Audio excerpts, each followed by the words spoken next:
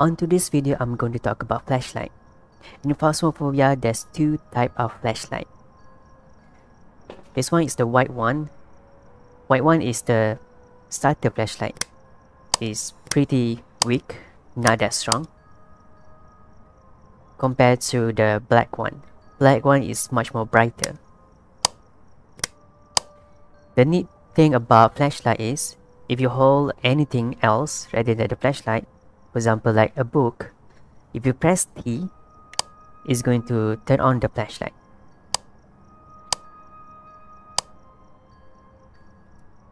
Another thing you need to know about flashlight is, you can only hold one flashlight. So you cannot hold another flashlight, including the other flashlight. You can only hold one.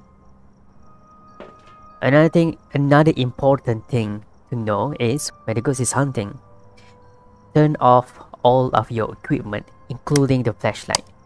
If the flashlight is on or anything, any equipment is on, the ghost will know where you are. So make sure you turn off the flashlight even if you have on your inventory, turn off, turn off everything.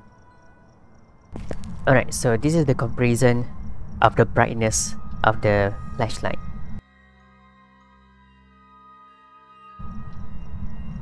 This is the standard flashlight.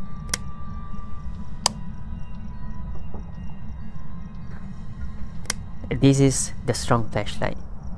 You can see there's a bone over there. I think that's a rib cage. So compared to this one, the standard one, you don't see that bone. And it's kinda kinda orangey. Kinda orangey. The bright one, there's no color. You can again you can even see the bone. So this is much better flashlight. That is all. Thank you so much for watching.